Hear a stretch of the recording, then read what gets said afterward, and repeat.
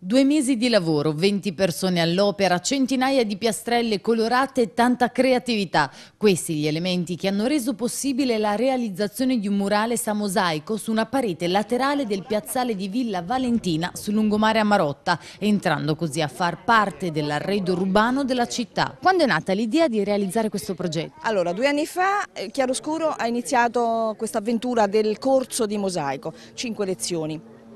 Lì chi ha partecipato eh, è rimasto travolto dalla passione e ha fatto delle opere a casa propria.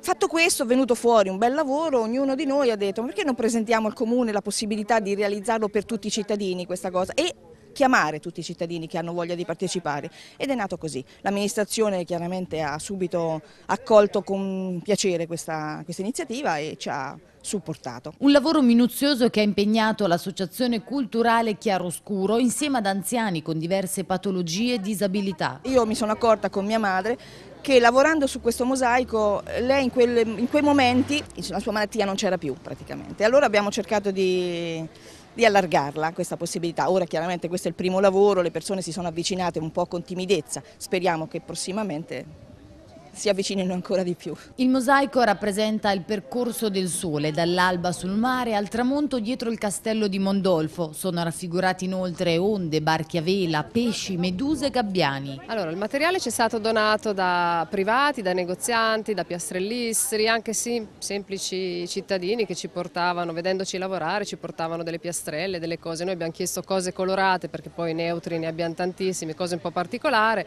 Quindi inizialmente è stato creato un disegno su carta e la nostra paura è che poi eh, sul muro perdesse eh, un po' l'effetto, invece è stato il contrario, quindi siamo veramente soddisfatte e sarà sicuramente una cosa da ripetere. D'accordo con Beatrice anche Angela, una fanese che ha contribuito alla realizzazione del mosaico. Semplicemente che speriamo che questo sia il famoso progetto pilota nato qua a Marotta e visto che io sono di Fano spero con tutto il cuore poi di portare il tutto a Fano e che sia il bellissimo inizio di un nuovo viaggio.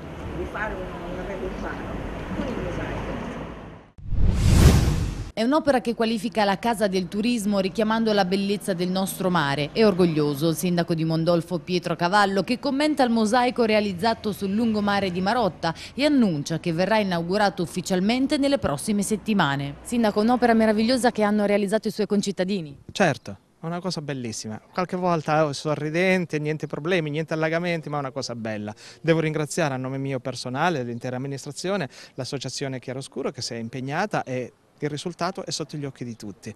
Io ho ricevuto tantissime telefonate di cittadini che eh, sono venuti qui ad apprezzare questo lavoro bellissimo. Ci sarà il modo di inaugurarla ufficialmente? Certo, eh, ogni anno la Regione Marche, dopo l'assegnazione della bandiera blu che avviene a Roma tra, lì al Ministero, eh, la Regione Marche fa la consegna ufficiale delle, eh, de, delle bandiere blu ai comuni che le è stata assegnata.